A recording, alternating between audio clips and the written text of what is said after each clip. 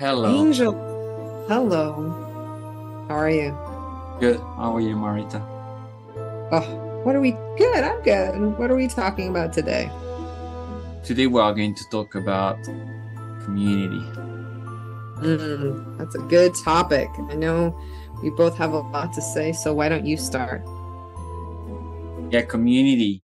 You know, one of the things that um, I was reflecting upon is many of us that are doing those mission of service to the land, to people that are trying to weave the ancient ways in our lives in this modern world.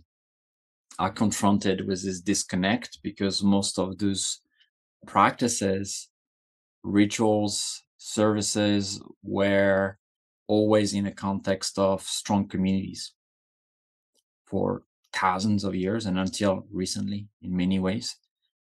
Still alive in many communities that way. But when we live in the western world uh, communities often not present in the same way. We cannot rely as much. We don't really you know grow food for 20 people and share the garden weeding and taking care. We don't chop the woods and take care of the wood to warm the house of the village. Uh, so we kind of end up being the one doing everything. Um, and it can be a lot. Yeah. and very often because the view of community in the western way is very different than the ancient ways just by the Mhm. language the the fact that often there's not really an i it's always a we so there's a very different way to look at it um my experience has also been that even people that call for community or want community come to be engaged in community service sometime uh, don't always um, create this sacred reciprocity. Mhm. Meaning, you know, like giving one example, if we say, okay, we are going to have a, a weekend of doing a specific thing for the land, we will have way less people interested that if we say, hey, we are going to do a thing for the land the whole weekend, and we are going to offer you a healing session. We are Yeah. going to offer you uh, a teaching or something like that, right?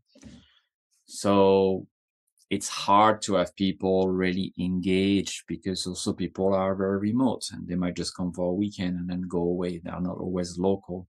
So there are a lot of layers that Yeah. makes the community creation, unless we live in a community village.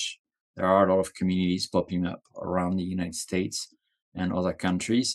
Uh, it's difficult to really organize community to reflect upon community how do we create from from community to if community is temporary for a weekend or for a long week and then it's gone right Mhm. uh, there is not that long-term vision okay we have this community and now what do we do Mhm. so i don't have a solution for this i wish Mhm. i had uh, but that's the complexity of to anyone that's in that work uh, i know you face it and I know many people that are taking care of a land or in deep work of service. Very often, it's one of the pain that is present. Yeah. We the Western world is very transactional. Mm. You know, it's about, you know, what can I get out of this? What is the time and and immediacy? You know, as someone who has existed and and and within a day, within a couple hours, can jump in between different cir- circles of very Western circles, very indigenous circles, you know, kind of like makes my head spin once in a while. Um, you know, there's very different ways of community. You know, I was talking to a um, one of my students who is went back to the reservation, you know, and they said, I forgot how how easy it is when you're in community, when you you're never doing anything alone. You know, when someone said, you know, uncle said, Hey, by the way, you know, I need help with my garden, you know, six people show up the next day and do it. You know, there's just this understanding that it's not about you, right? That it's everyone is participating because that means in the families coming together, communities come together, you're eating, you're cooking. It's not just a thing, right? You know, you're not just coming and gardening. It's a it becomes a whole thing. Mm-hmm. But then that's how you educate, right? That's how you educate. And that's another thing that people forget is they forget that it's the tending to the everyday things and the tending to land where the greatest teachings happen. That's always how indigenous people have taught. Sure, we sit in circle to a certain degree, but the real quote unquote, as people like to call integration into the body, is when you're out there doing. Because we come from very practical ways. A lot of our teachings are very built on practical ways. And everything that we eh, teach is our, we teach survival skills, whether it's the survival in a relationship with nature or with humans. That's everything we're teaching is community. And so I wanted to share that kind of imagery so that people understand the vast divide between Western ways and indigenous ways. And I'll give another example, and I think this will be interesting, you know, because you and I, you know, we sit, we talk about, you know, what are we going to be offering, what's going on you know there's a circle that i sit in um, where i'm very young you know uh, uh, young in the sense of being in that circle uh, even though i'm an el- a, a recognized elder. Most of the people have been there 30 years 40 years and plus. And so I, i'm in a lot of communities like that you know and to request for a, as you said a healing or something to be taught there's a lot of formality that has to happen mm-hmm. uh, especially if you want you know you want big healing takes a lot of work so it makes you think do you really do i really want this ceremony right there's some ceremonies that you have to request uh, uh, three to four times throughout the year and part of that is to make sure that the community still wants this and you always have to gift you always have to present and part of uh, the asks of many of the elders is to tend to the land where they want the healing to happen. And that's what people forget is the land is offering the healing. We are just ambassadors to the land because we we work with it more. We're there more. We're we have our hands in it. So we are ambassadors. The real healing comes from the land. And so you know there'll be uh you know week long work parties to come to tend to land to earn it right? And part of the protocol is to request of the land can we be there? Do we have permission? Will it hold us in this circle or this ceremony that we're asking? So it's very different. Indigenous ways you have to ask. You have to ask for help. You have to ask hey i need this. I need this teaching. What what is the exchange? And we always know that part of that exchange is tending to the nature around us because that is what sustains us. Mm, yeah, I can definitely feel that.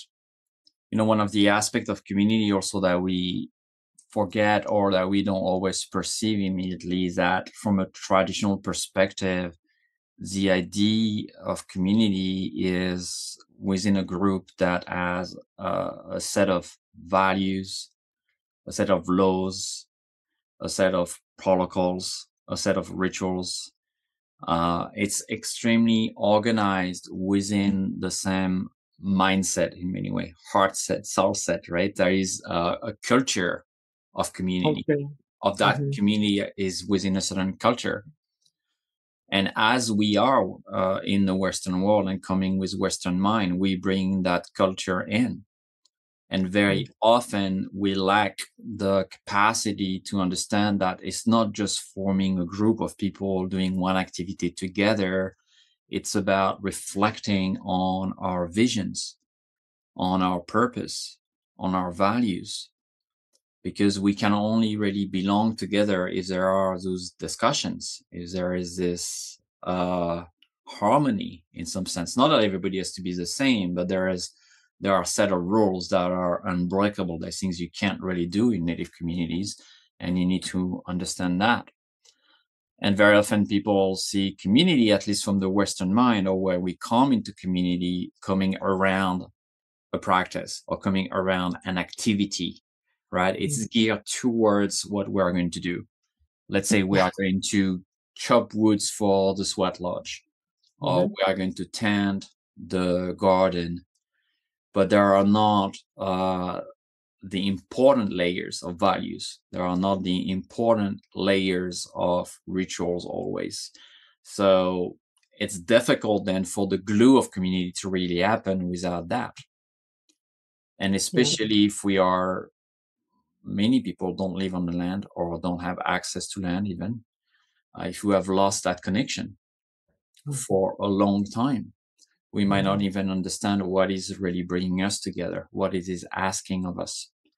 Uh, and also it's temporary community used to be you were born into the community and you will die into that community so it was your life it was not an activity it was not mm-hmm. something you know that is fun to do or that is enjoyable it's also something that comes with sacrifice with difficulty with struggles and communities had or still have for some the way to also manage that and to do that. And because we're in a culture of entertainment, of distraction, or of pleasure, let's say, of constant, you know, high on the next fun thing yeah. to do for a very short amount of time, this hook that we have, mm. uh, we have very hard time to integrate the other aspect of community to even see how important they are which requires things that are not pleasant, that are difficult. Where maybe in that moment, in that weekend of helping or that day of doing community things, you didn't get anything directly for you. Even in fact, you're probably always getting something from the connection, from the land, and from all of that.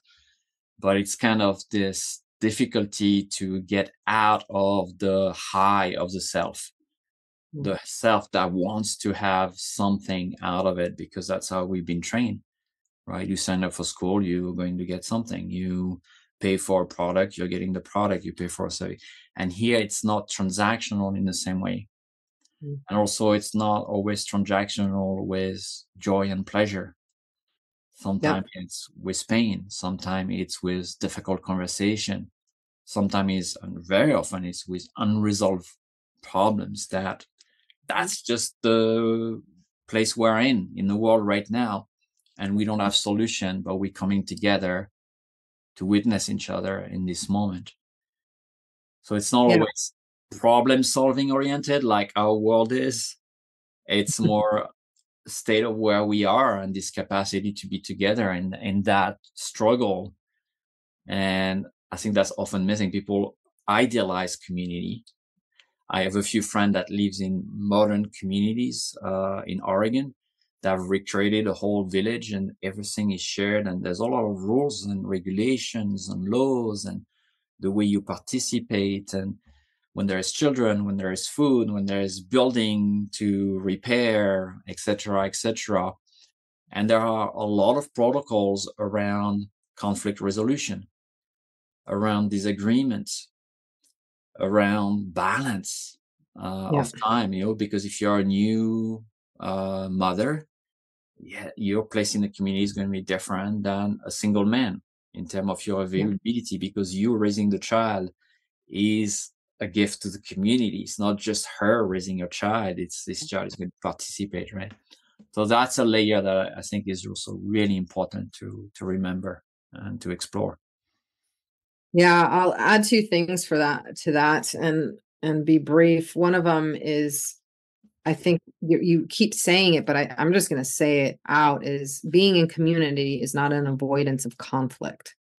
Right. And a lot of people think that spiritual communities are supposed to be we're not supposed to be human in them and mm. humans if you if a human to human relationship exists there will be conflict at one point right mm-hmm. and that's why there's a lot of protocols you know a lot of the watered down protocol of ho'oponopono which really takes years and years to study and when you were is for conflict resolution and it takes weeks to do Ho'oponopono correctly, it can take weeks, right? Because you're sitting and everyone gets to talk and every, you know, it's just, it's very different than what has been watered down. And so we forget that, you know, there's this weird thing that, we, oh, okay, now I'm in a spiritual community. There's going to be no conflict. Yeah, you're with humans.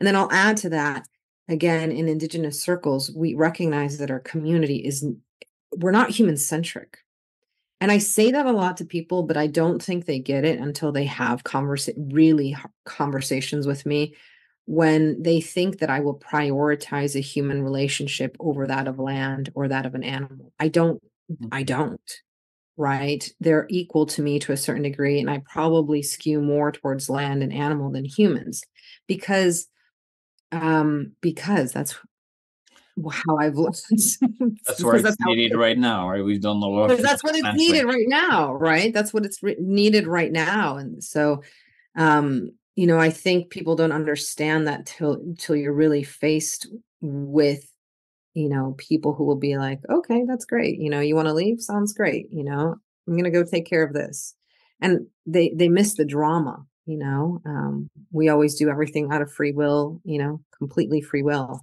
and people have a problem with free will they they but that's a whole nother conversation that we'll talk into it but i mm. think this is an opportunity right as we continue to build this community uh, online as well as in our circles and on land to to to pause and to reflect and to come with an empty cup you know and not just expect it to be filled by someone else, but also even that cup that you created has value. So your vessel has value, right? Mm-hmm. If you mm-hmm. come and you work on land, you can fill it up with work.